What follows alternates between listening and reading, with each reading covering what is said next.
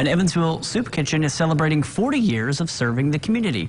Sister Joanna's Table in downtown Evansville held their annual Thanksgiving meal earlier today. Sister Joanna founded other organizations like the House of Bread and Peace, a women and children's shelter. She passed away earlier this year and has left a lasting impact on the community. It's just very touching to see how many volunteers come out every weekend to support our local community. I love it. I love being come here and helping and people. Each weekend, the soup kitchen serves 100 to 175 plates.